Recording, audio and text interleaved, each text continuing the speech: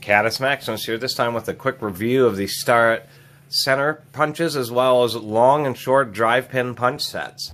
These aren't the all the sets they make. They also make uh, more comprehensive uh, master sets as well as just about every manufacturer has drive pin punches. Uh, I chose to get the Starretts because I found these uh, on a pretty good deal online. And Starretts always look, they really have a nice finish to them. And these drive pin punches are one of the most affordable tools from them. That being said, uh, one thing I'm not so happy with Starrett is that they come with these plastic pouches, and uh, they never really have been the greatest. And especially with these sharp edge drive pin punches, they just pretty much tear apart these plastic pouches. Uh, I've taken real good care of mine, uh, but for the most part, they generally uh, won't last for you at all. And I'll put the part numbers for these sets. We have the S7117, the S565, and the S248. Let's go ahead and start off with these center punches. These are all pretty nice. One of the, if I can reach here, one of the big things about Starretts is that they do have a real fine finish. And being a manufacturer that makes a lot of machinist tools, that's one of the things that you can expect is at least them for them to look uh, pretty darn nice. Um, one thing to mention, and we'll go and zoom in just a little bit more, is that Starrett does, you know, like many other manufacturers, tries to save money. And these this five piece set, they only use three different rod sizes, and then these three sizes in the middle, all they've done is just turned them down to different diameters. And I did think, even though the set was pretty cheap, I thought that was pretty cheesy because essentially what's happening is you're getting a five piece set, and really you get one small one three mediums and one large, and it's really over duplicated. You should either just sell it as a three piece set or give you some more progressive sizes because I kind of feel a little cheated that they're just sending you a bunch of duplicates, but calling them different parts just because the shanks are slightly different. And that makes almost no difference on a center punch because the idea of these is that you use them to mark a little divot for you drilling a hole so something can actually so the drill bit will actually stay centered. That's why they're called center punches aside from that criticism, they're all made pretty nice. They have really nice, uh, and actually, that isn't etching. That's a stamping on there. And then it's been sanded after the stamping, so they stamp it so that, and then they carburize it so you can get the black lettering, and then they sand the tip. So that actually isn't laser printing. That's actually stamped.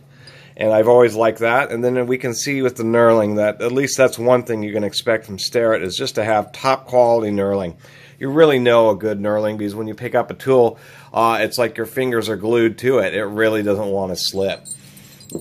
And so the consistency and the finish and the knurling really makes them pretty well worth it. Uh, it would just be nice if they were a little more thoughtful. Now, on the smaller 8 piece short drive pin punch set, it's a similar situation where you have the same stock size for the first four, increased stock size to the next two, and then uh, or excuse me, the next two, and then the last two are actually larger stock sizes for each one. So it's kind of eclectic. Of course, with these drive pin punches, especially the smaller ones, they can be a little bit weak. The other thing about these Starretts is to try to make the tip a little stronger. They have this taper, which is a good idea, although it can be an issue.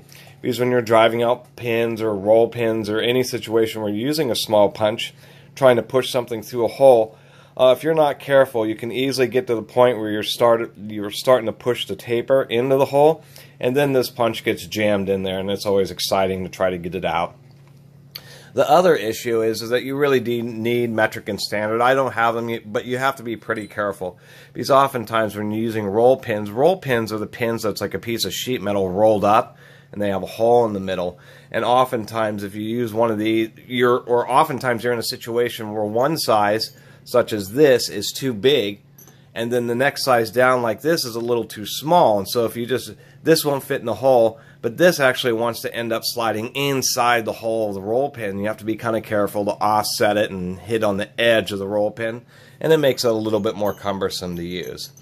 But in usual Starrett quality, we can pick up any one of these and see that the knurling is pretty nice. This one's almost optimal. just little pyramids with just that aren't quite fully filled out. That would be considered the textbook knurl. And just always so much grip on those. We'll go and finish up with these long drive pin punches. And what's interesting about these long ones is I believe just to save some money, they still use a traditional drill rod. I think these are all 1095, but I Starrett doesn't tell you exactly what steel they use, so I'm not exactly sure. But on these, you can see these are really nice. They're ground. Another thing is these do the long ones do not have a taper in them, so they can push really far down.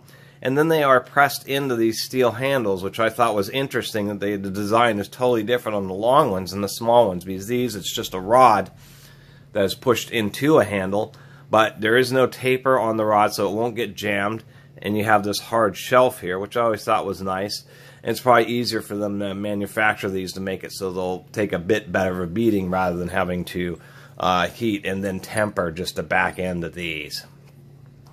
And I think part of that's why Starrett grinds the back of these is so you don't see the discoloration.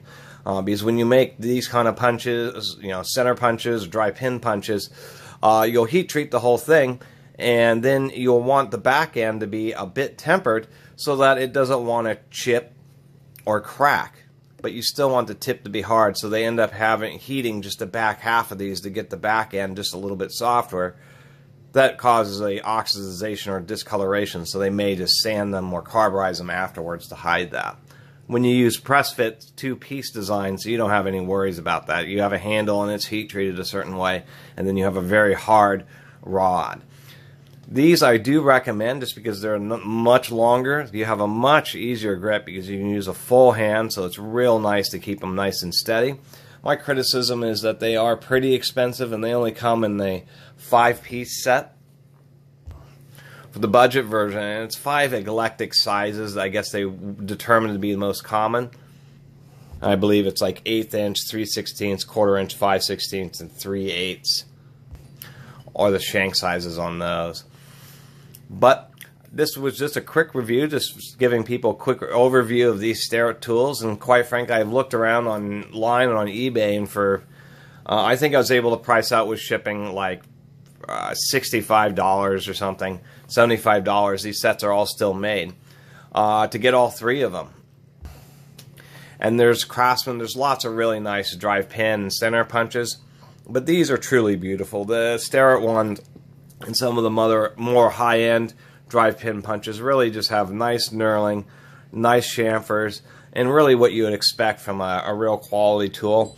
And in these type of situations, I kind of trust the heat treatment and quality of materials more. It ultimately means a longer lasting tool, such as when you're using them uh, and you damage the tip, you can easily hit this against a grinder and know that it's hardened all the way up, so it's no problem resharpening these. And the same thing with the drive pin punches. Anyway, that was another quick review from Catus Maximus. I really appreciate everybody watching. Uh, please subscribe.